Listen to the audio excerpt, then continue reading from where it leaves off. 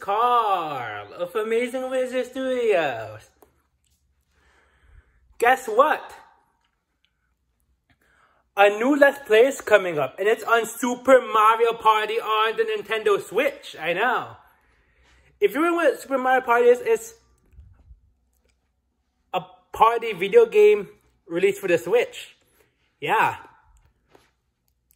Exactly a year ago today, on October 5th, 2018, the game was released. I know, because it's been exactly a year since then. I'm deciding a Let's Play on Super Mario Party should be done. It's going to be exciting. There'll be Mario parties, partner parties,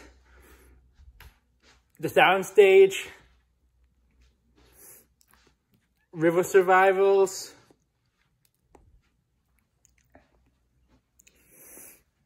mini games, and even challenge road. Yeah. I can't wait for it to start. And you can't wait either. However, you have to stay tuned. Alright? Don't forget to like this video, hit the subscribe button, and comment for future content.